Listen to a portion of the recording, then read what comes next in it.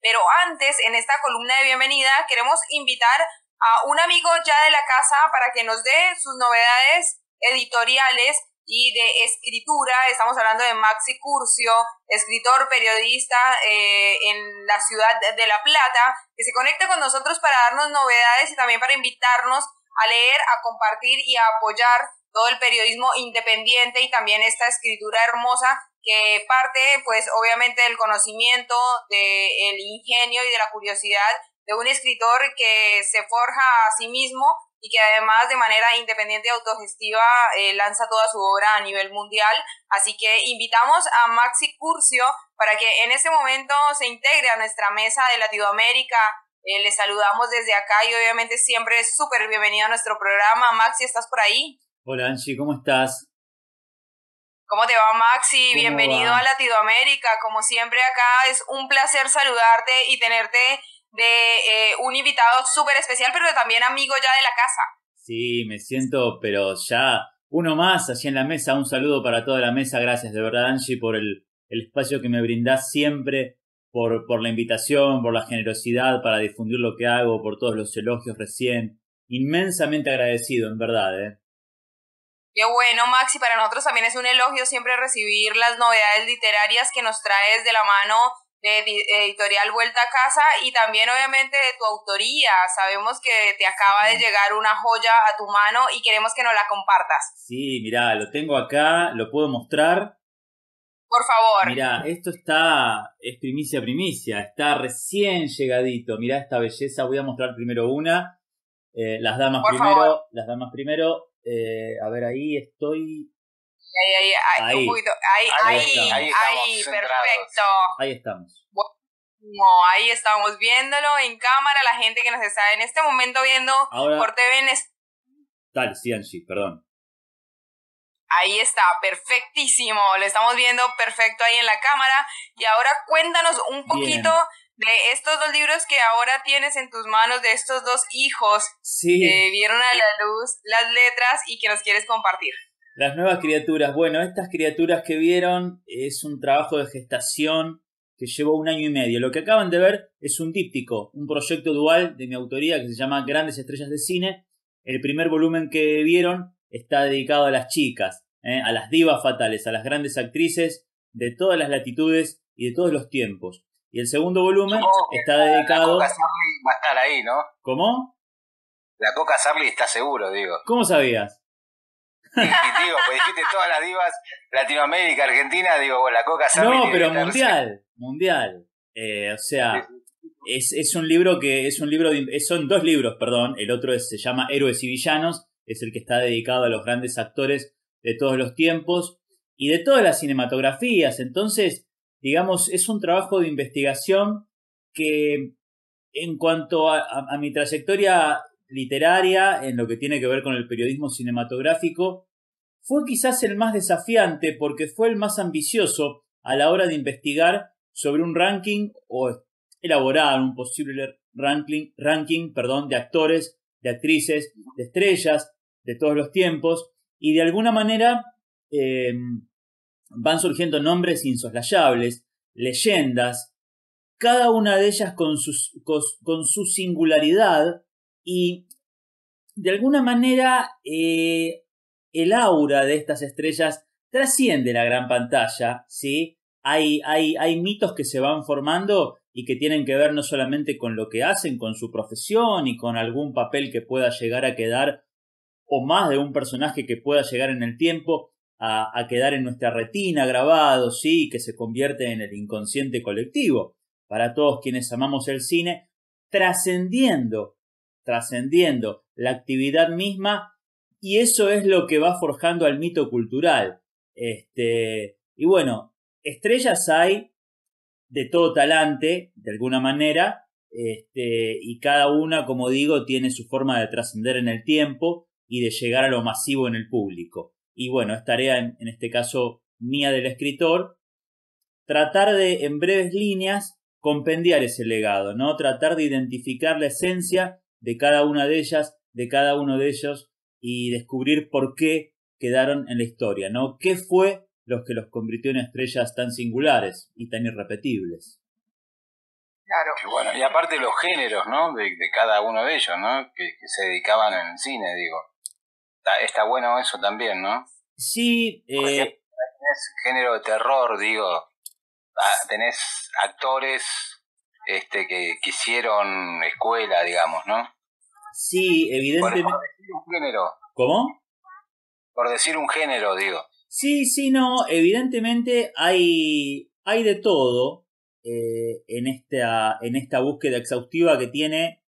Te digo, son 272 actrices y 272 actores. Igual número por volumen, no me preguntes por qué, pero de alguna manera. Ah, fue azaroso.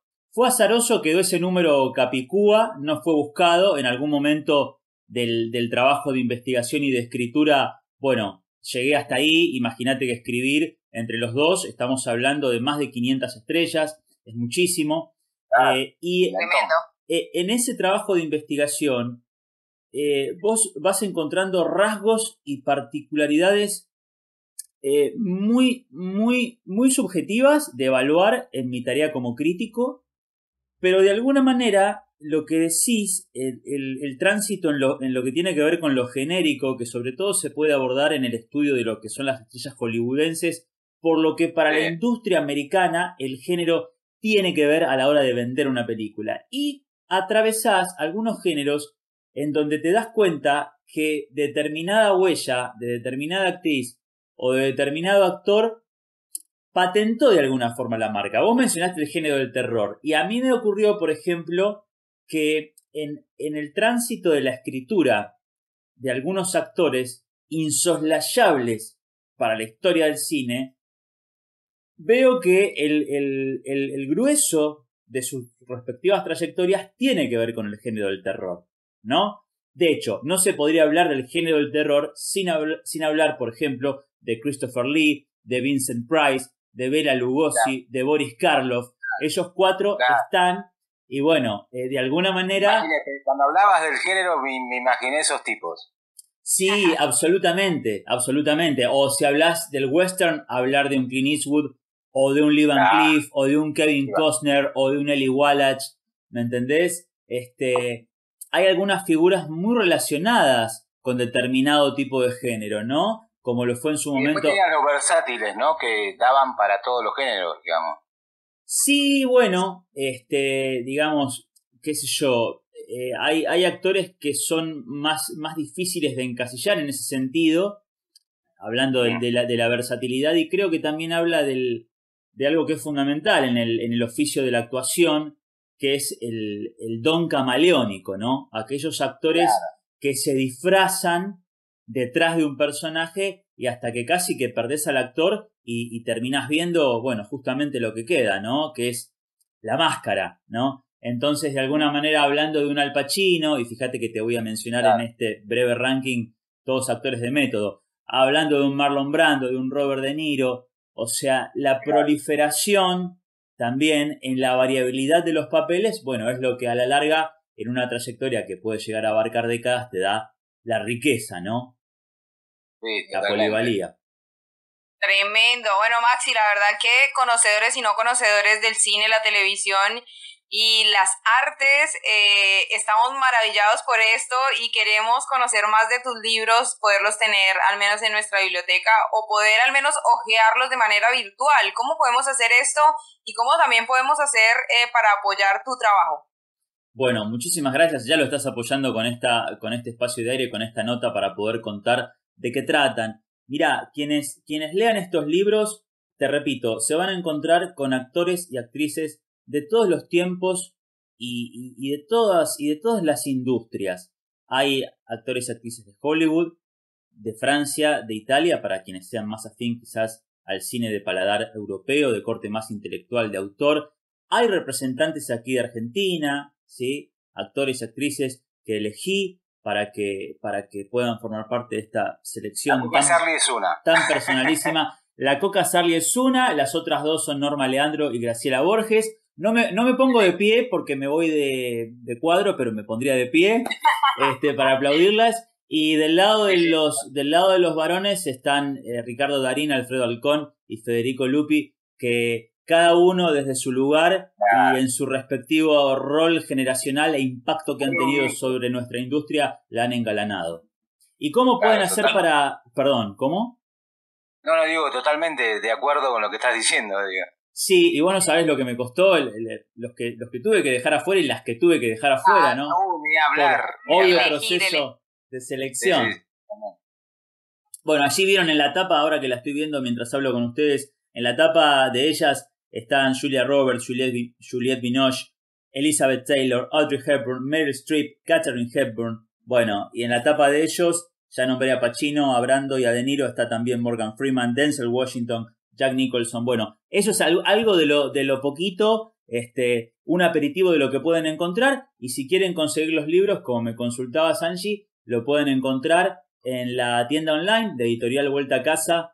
Agradecerles enormemente por este trabajo tan artesanal, tan precioso que además, imaginarán, tiene muchísima infografía, tiene muchísima fotografía, así que es un trabajo que estéticamente ha quedado espejado, ¿no? Como lo que es, como una saga dual. Y bueno, lo pueden encontrar, como bien digo, en formato papel y digital en la tienda online de los chicos de Vuelta a Casa, la editorial que me acompaña hace ya tantos años. Y, y también a través de mi página web, ¿no? Si quieren ver acerca de, estos nuevos lanzamientos y todo el material de prensa que está este, estrenándose al respecto de los mismos, www.maximilianocurcio.com y no me quiero dejar de agradecer y me extiendo medio minutito más para mencionar a los cuatro prologuistas que bautizaron esta obra con su pluma. Son cuatro personas muy especiales que las elegí no solo por el cariño que les tengo, sino porque saben muchísimo del arte de actuar. ¿sí? Eh, dos de ellas son actrices, que son Rocío Rey y Daniela Colucci. Uno es un excelente director, que es Bastián, ¿sí? y otra es una exquisita directora, que es Karina Greenstein. Ellos cuatro han sabido interpretar a la perfección de que hablamos cuando hablamos de estrellas de cine. Así que bueno, mi agradecimiento es total. Qué, bueno. Y yo quiero agregar esta garajea, qué bueno que está Julia Roberts, ¿no? Porque más allá de Mujer Bonita, ha hecho cosas como La Sonrisa de Mona Lisa y Erin Brockovich. No, bueno, muy bien. Dos títulos. Julia Roberts, además de ser la sonrisa más hermosa del mundo y de ser la reina de, de, la comedia romántica, digamos, eh, lo que ha hecho dramáticamente, yo creo que el, el, papel de Julia Roberts en Erin Brockovich, eh, que es personaje real de Eddie Brockovich que ella interpreta en pantalla y por el cual gana un premio Oscar en el, premio, en el año 2000, creo que a muchos escépticos les demostró que Julia Roberts podía hacer grandes películas dramáticas, pero eso no era ninguna novedad porque yo lo había hecho en el informe Pelícano, en Magnolias de Acero y en Quédate a mi lado y tantos y tantos títulos más. ¿eh? Ay, Maxi, qué exquisito hablar contigo, qué poco el tiempo y qué tirano que es en la radio. La verdad que, eh, nada, te agradecemos un montón. Eh, nada, siempre creo, siempre nos quedamos con ganas de más. Eh, bueno, siempre hay y más. Seguramente, claro, y, y sabemos que el micrófono siempre queda abierto para tus novedades literarias, para recibir todo lo que venga de parte de Vuelta a Casa, también esta editorial que apoya tu trabajo y que nosotros también apoyamos un montón. Y que bueno, nos conecta en este momento para dar estas novedades literarias y también para decirle a toda la gente que bueno, apoye el periodismo independiente, ese trabajo tan del corazón y bueno, el, la buena arte, ¿no? El, la buena info sobre arte y sobre eh, cine que nos trae de la mano Maxi Curcio. Así que Maxi, muchísimas gracias por estas novedades y esperamos pronto poder tenerte de nuevo acá en Latinoamérica. Querida Angie, de mil amores, muchísimas gracias, va a ser un placer volver a estar contigo de nuevo. Gracias por estos minutos, un cariño a toda la mesa, a toda tu audiencia y los espero con grandes estrellas de cine y con lo que venga de aquí en más. Un fuerte abrazo, gracias por este espacio, de verdad. Bueno, Maxi, pero no te vayas, porque ahora el primer tema que vamos a presentar, sí. perdón, este, eh, yo sé que vos sos muy amante de los padres del rock nacional, como Spinetta, Charlie, después vino Fito. ¿Con qué me vas a sorprender? Fito, mira, para, ah. para homenajearte a vos en esta cierre No me digas. Y le mandamos un abrazo a Fito, que se mejore, que anda anda complicado de salud.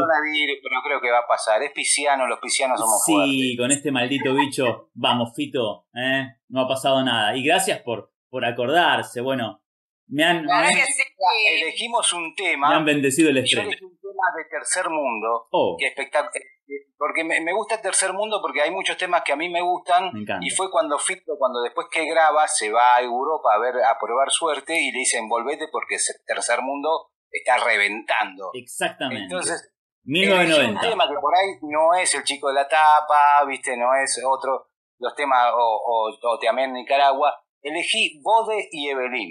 Oh, mira vos. Un, un lado B de Fito, un lado B. Claro, un lado B de Fito que es, es un tema que digamos que yo le decía a ella que es una fábula de dos gatos, ¿no? El gato marroquí, callejero, y la, y la gata Sol que viene con su dueña, ¿no? Muy, muy, muy coqueta y de repente lo ve a Bode que es un callejero y flashean y se escapan y van a, vivir una historia una noche juntos. pues. Claro, una, una especie así. Y entonces eh, me decía que había un mensaje encriptado, digo, bueno, más allá de la fábula, las fábulas tienen un mensaje, ¿no? Donde uno puede descifrar qué es lo que quiere decir. Y pensé que este tema tenía que ver con cuando llega eh, ese amor o esa atracción entre dos seres que son de dos mundos diferentes, ¿no? Sí. Me pareció. Así que bueno, este, esta nota vamos a cerrar con Bode y Evelyn de Fito Páez. Interesante interpretación, me encantó. Excelente. Gracias. Y además Fito es, un, es, Fito es un grandísimo narrador de historias. Así claro, que... tenemos Sasha y Sisi del amor después del amor, digamos también, ¿no? Claro. Por ejemplo. Exactamente, y tantos y tantos temas Vamos más. Con este tema, entonces. Vamos, adelante. Maxi, un abrazo. Un abrazo chau, chau. grande, gracias. Chau, chau. Vamos a escuchar Bode y Evelyn de Fito Páez, el disco Tercer Mundo. Ya volvemos. Chao, chao.